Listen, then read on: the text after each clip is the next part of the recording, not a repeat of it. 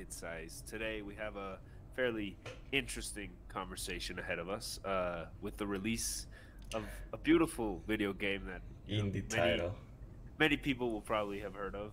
Many may have not, as you know, Nerd Avenue right here. But Yeah, this uh, one Elden of those Ring. episodes.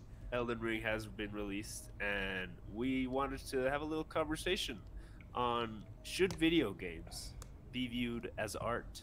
Yeah, so uh, many of you who are not as well geeky as we, uh, because this is one of those episodes. This is the episode where, where we rant a little. Yep, yep. Uh, but hey, those episodes perform well, so So here we are. so here we are. So uh, I think my take is that they should be considered art. It's just that e- even with their uh, mainstream appeal, with video games being bigger than movies and music combined, uh, I'm not saying that just because uh, uh, because I play video games. Like it's a fact. Like video games generate way more revenue than both movies and music. I don't know about music. Gaming coming soon. I don't know about music, so fact fact check me on that. But definitely movies. Like Yeah, they rake up yeah. way more money. I mean, it's- in a, in a sense, a video game, in my opinion, is well, I agree, it is an art form, and it's to me like an interactive movie in some way. I mean, obviously, when you have there's different types of video games, but you know, for example, something like Elden Ring is many hours and many hours. many but it's- hours. it's an experience of you exploring a whole world and you know it, it's basically like seeing everything on screen but you're the one who's moving through like throughout it Yeah, I mean, there, there's definitely more video games that are closer to interactive movies. Like uh, any Telltale game is basically just a movie, and you decide what's happening, but you are aren't actually uh, controlling and stuff. But people are into that, not me. Uh, I I rather control it, but and it's that main difference i'll say that movies are just like the purely the artist's perspective Mm. forced onto you. I'm not saying that that's bad but it's just limited just- to one experience.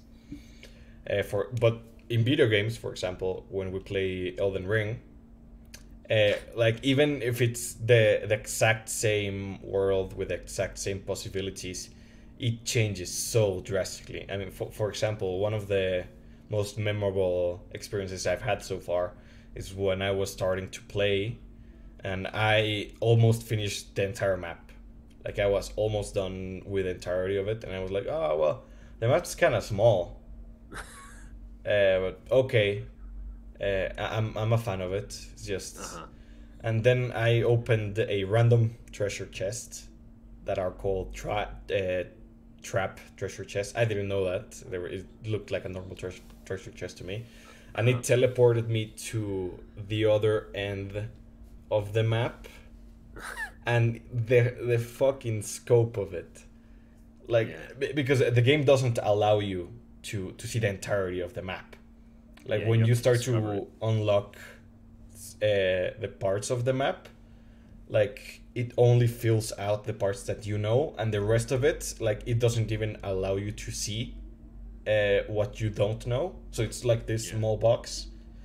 Uh, but then i got teleported to the other end of it and because the the map had to rearrange my my my place in in the world uh, it allowed me to to see just how fucking big it is. Yeah and, yeah, and oh my god I, I mean that's that's the thing right? It, it's basically it's a way of entering a fictional universe and exploring it to a minute detail. Well when it's done correctly of course. Uh, which is why a lot of the times like batman or superman spider-man all, all these big you know hero figures and fictional characters they end up trying to make video games Yeah. around it I mean, because uh, firstly, it's a fucking huge market. oh yeah. and like bringing bringing in those very well known IPs is like fundamental. Uh huh. Like like so obvious, right? Like why make a movie when we can make a multi-billion dollar IP in video games and rake up like 200% profit. Uh huh. But in addition to that, you can tell a, a new story that's never been told, and Yeah. th- there's even like even in story-based games where the story is exactly the same, no matter uh, you what you do. Like your connection, if done correctly, your connection Yeah. to the main character is much deeper, since well you, you're going through everything that the main character is doing. Like you're it's not like you're forcing the character to do something it's that you are the character and Yeah. it's just like amazing there there are some other video games that truly transcend storytelling uh, like outer wilds best game ever made in my opinion not, not even joking like it's it's my top one video game So if any of you ever find Huerta, just mention that to him. and I'll go like on on a forty minute talk monologue of how fucking good that game is. Like the whole gist of it is that you don't know jack shit, and you're in a solar system, Yeah. and the the sun explodes every twenty minutes, Oh, and you're stuck in a time loop, and you have to figure out how to stop the the fucking sun from exploding. Uh, the trick is like th- there's no upgrades, there's no leveling up. Yeah. Like the the only progress you make is with your knowledge of the world around you. So if you visit like every planet and find this like ancient tombs of uh, the other extinct civilizations and try to piece a massive puzzle together. That's basically it. Like a giant puzzle that you have to piece together that it's told purely through the environment. Like it's, it's not like a character comes up to you and goes full on exposition. yeah. Like you you have to piece it together. And, and, and that's it's, that's it's something that they can do. Like video games is it's not only immersive, but it's making you think and solve and Mhm. realize like, okay, well, you know, how do I get to this? how do I get to Mhm. achieve this throughout what I have? And you know, games like those, there's obviously games for everyone and different types Yeah. of games, and there's terrible games, of course. Like not every video game is a good piece of art, just like everything that is considered a piece of art. and I wouldn't consider every video game art. Like there, there's there's a line there, uh, and Yeah, like with art, everything is so subjective. Uh, but I'm like putting my, my hat in the ring, and saying like, like first person shooters. Uh, I mean, those are more of a competitive e-sport because I, I don't want to call it sport because it's not a sport; it's an e-sport. Uh, but those are not art. Like Yeah. I don't doesn't make you like feel. It's like calling like football art. Yeah, I mean, I think I think that you know something like a first-person shooter has art involved, Yes, But like the the- the, art style and. but everything soundtracks. isn't necessarily like Mhm. the whole thing might not necessarily be a piece of art because it's it's different. It's different to telling a whole Mm-hmm. story uh, through that medium.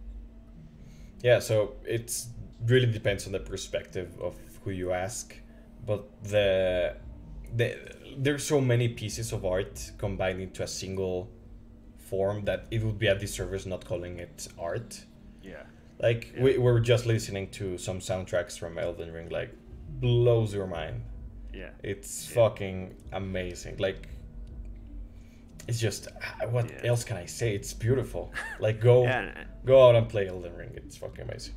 and If you haven't uh, already. some other example for example like uh, the other day i was just looking at like the, the process behind making cuphead another super oh yeah, game. super indie game. and, and that game is another piece of art i mean from the artwork from the design from the creative nature of how to build it and the music which is all original it's like mind blowing. The amount of effort and passion that goes into it. Yeah, for, for the ones who are not as uh, involved in the mainstream video game scene, uh, basically it's a video game done uh, with hand animation.